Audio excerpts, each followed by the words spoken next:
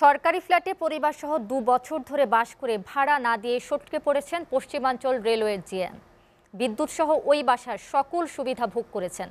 কিন্তু রেলের খাতায় বাসাটি ফাঁকাই দেখানো হয়েছে। এভাবে প্রতি মাসে অন্তত পঞ্চাশ হাজার টাকা করে ফাঁকি দিয়েছেন সরকারকে। রাজশাহী থেকে চট্টগ্রামে বদলি হয়ে তিনি এখন রেলওয়ে ট্রেনিং একাডেমির রেক্টর পদে আসেন। জিয়াউল গদি সেলিবের বিশেষ প্রতিবেদনে ছবি তুলেছেন আবু সাইদ। রাজশাহী জেলার শিল্পকলা একাডেমির পাশে অফিসার্স কলোনিতে পশ্চিমাঞ্চল রেলের মহাব্যবস্থাপকের সরকারি বাসা এটি।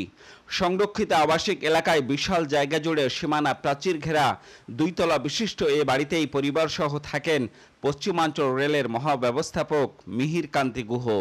পাশেই নতুন করে তৈরি করেছেন সুইমিং পুলও। আর পরিবারের খেদমতে বাসায় কাজ করে রেলের অন্তত চারজন কর্মচারী। ওকে ধরেন বাজার টাজার করার জন্য। রেলের কর্মচারী কজন আছেন? ওখানে আছে আপনার তিনজন ওই রেস্ট হাউসে আমি একজন চারজন। চলতি বছরের ছয় জানুয়ারি ক্যামেরায় ধরা পড়ে এই চিত্র। মহাব্যবস্থাপকের বিরুদ্ধে বাসা বরাদ্দ ছাড়ে বসবাসের অভিযোগ ছিল। অনুসন্ধানে বেরিয়ে এসেছে, কোনো কর্মকর্তার নামেই বাসাটি বরাদ্দ দেয়া হয়নি। নিয়ম অনুযায়ী প্রতি মাসে বাসা ভাড়ার টাকা মহাব্যবস্থাপকের বেতন থেকে কেটে সরকারি খাতে জমা হওয়ার কথা, কিন্তু তাও ফাঁকি দিয়েছেন মিহির কান্তি।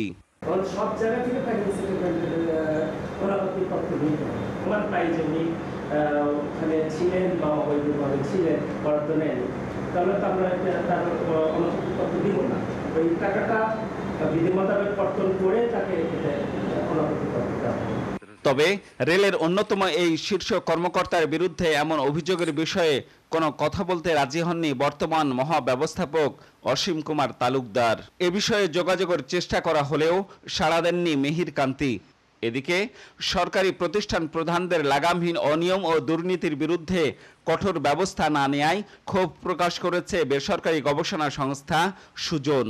ঊর্ধ্বতন কর্মকর্তারা যদি দুর্নীতিতে জড়িয়ে পড়েন, অনিয়মে জড়িয়ে পড়েন তাহলে গোটা দপ্তর, অফিস, প্রতিষ্ঠানই দুর্নীতিগ্রস্ত হয়ে পড়ে।